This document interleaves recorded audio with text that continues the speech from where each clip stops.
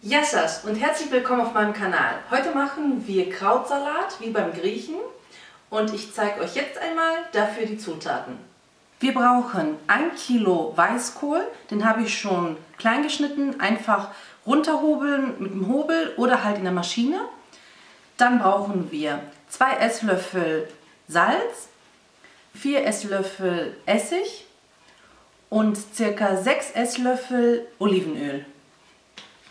Als erstes nehme ich mir eine große Schüssel, gebe da den Weißkohl hinein. Dann gebe ich zum Weißkohl das Salz.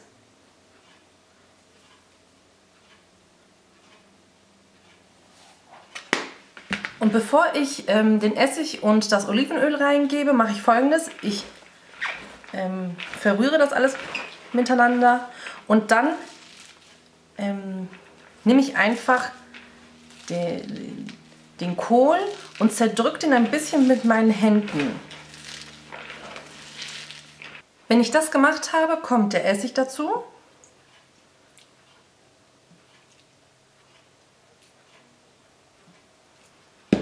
Und das Olivenöl.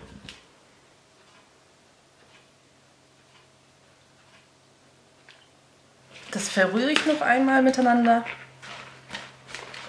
Meinen Krautsalat gebe ich nun in eine Tupperdose mit Deckel, verschließe ihn sehr gut und ähm, lasse ihn im Kühlschrank für 24 Stunden ziehen und dann ist er auf dem Punkt und perfekt zum Servieren.